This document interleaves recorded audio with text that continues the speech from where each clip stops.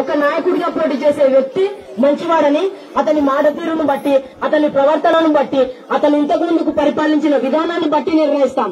కానీ అభంశుభం తెలియని నిరక్షరాస్యులైన ప్రజలు నాయకుడిగా పోటీ చేసే వ్యక్తి యొక్క తెల్ల చొక్కా జేబు వెనుక దాగి ఉన్న పచ్చనోటును పసిగట్టి ఆ నాయకుడు మంచివాడని నమ్ముతున్నారు. అదేవిధంగా పొద్దస్తమానం కాయ కష్టం చేసే సామాన్య ప్రజలు సాయంత్రం అయ్యాక మద్యం సేవించి వారి యొక్క అలసటను తీర్చుకునే అలవాటులో ఉంటారు.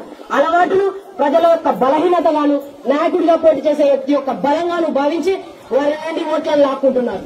ఓటును నోటు కమ్మితే ఆ నోటును ఒక ఐదు రోజులు సుఖంగా అనుభవించవచ్చేమో కానీ అదే నాయకుడిని ఐదు సంవత్సరాలు భరించాల్సి ఉంటుందన్న చిన్న విషయాన్ని ప్రజలు మర్చిపోతున్నారు. దీనిని ఇంతటితో ఆపివేద్దాం. ఇది ఇలాగే కొనసాగితే మన భారతీయ ప్రజాస్వామ్య వ్యవస్థ ముప్పునకు లోనవుతుంది ఈ వైరుధ్యాన్ని త్వరగా తరిమి కొట్టాలి ఓటు హక్కు వజ్రం కంటే విలువైనది. కాబట్టి ఈ వజ్రాన్ని మంచి ప్రభుత్వానికి అప్పజెప్పాలి. మన గణతంత్ర రాజ్యం గణనీయంగా అభివృద్ధి చెందాలంటే ఖచ్చితంగా శక్తివంతమైన నాయకుని ఎన్నుకోవాలి. మీరు గనక మన రాంబంటు టీవీని మొదటిసారి వీక్షిస్తున్నట్లయితే మరిన్ని ఇంట్రెస్టింగ్ అప్డేట్స్ కొరకు మన ఛానల్ని సబ్స్క్రైబ్ చేయండి. నోటిఫికేషన్స్ కొరకు బెల్ ఐకాన్ని ప్రెస్ చేయండి.